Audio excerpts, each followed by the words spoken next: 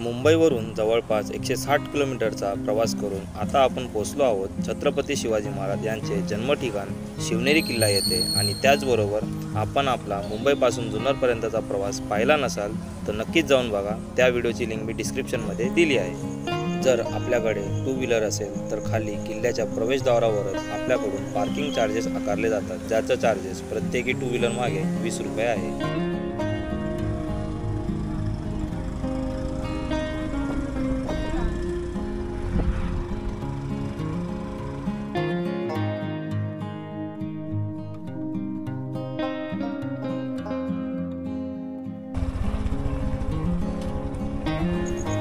गाडीची पार्किंग केल्यानंतर आम्ही आता पोचलो आहोत किल्ल्याच्या मुख्य प्रवेशद्वारावर. आणि तिकडे गेल्यानंतर आपल्याकडून किल्ल्यात जाण्यासाठी कोणतीही प्रवेश फी आकारली जात नाही.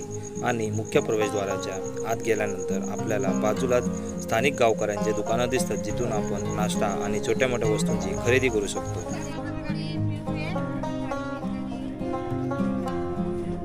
अरे.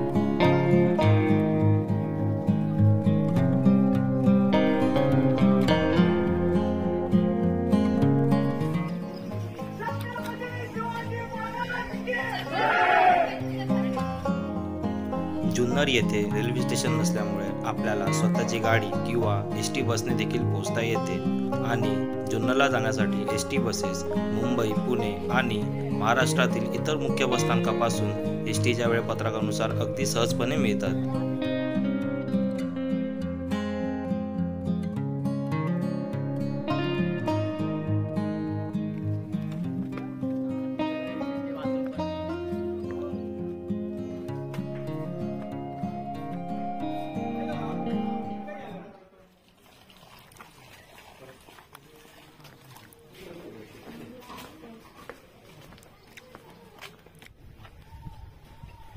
शिवाई देवी मंदिर दरवाजाच्या बाजूला हा एक छोटासा रस्ता जातो. इकडच्या केव्सकडे.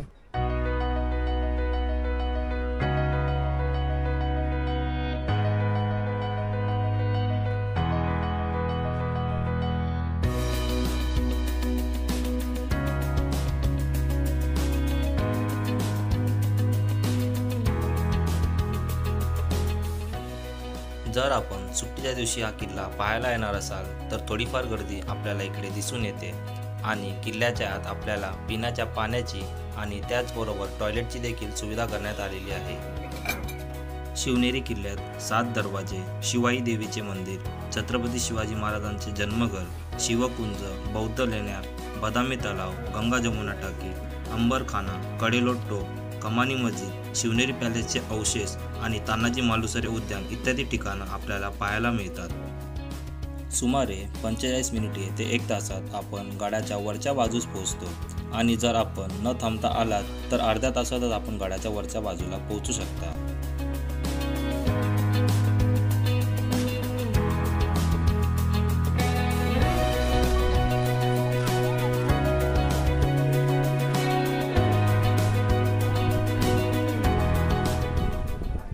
आता आपण आलो आहे छत्रपती शिवाजी महाराजांच्या जन्मस्थळी आणि तुम्ही रांग बघू शकता किती मोठी लागलेली आहे.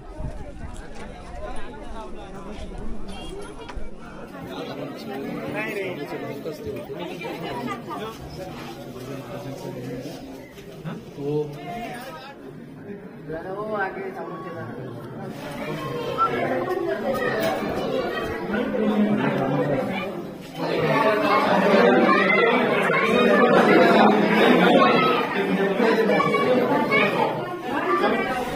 आता वाजले दुपारचे तीन आणि ओव्हरऑल आपला शिवनेरी फोर्ट जो होता तो फिरून झालेला आहे. आता आपण आलो आहे खाली आणि शिवनेरी फोर्टला मुंबई आणि पुण्यावरून पोहोचायचं कसं ते मी आता तुम्हाला सांगतो. आहे ना जुन्नरला कोणतंही रेल्वे स्टेशन नाही आहे त्यामुळे आपल्याला दोनच ऑप्शन उरतात.